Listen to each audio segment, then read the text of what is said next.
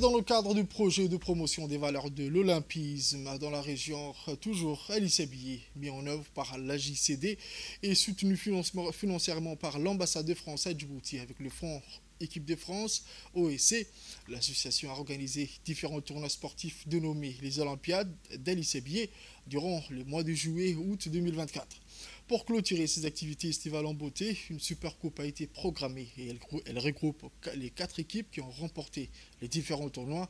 Le lancement de la demi-finale du coup de, la demi-finale, le coup d'envoi a été donné ce vendredi dans l'après-midi au stade Arrêt par le président du conseil régional, M. Chamark Hassan, en présence du sous-directeur régional du secrétariat d'État chargé des sports, M. Ahmed Moussa. Les demi-finales de cette Supercoupe se sont déroulées ce week-end dans le stade Arrêt, le stade d'Ali La première demi-finale met en compétition la localité de Hol Hol et la localité d'Ali Adé. Les joueurs de l'équipe d'Ali Adé sont tous issus du camp du réfugié de cette localité. Euh, c'est une preuve que le sport est un, facteur d'intégration et de cohésion entre les populations. La deuxième demi-finale a, opposé une équipe du Château d'Eau et celle de Ferrad.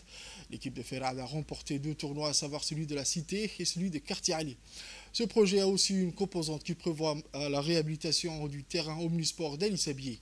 Les travaux de la reconstruction de la clôture sont en cours depuis le 21 août 2024 et elles sont menées par la cellule technique de l'AGCD avec le soutien de l'association des jeunes du quartier.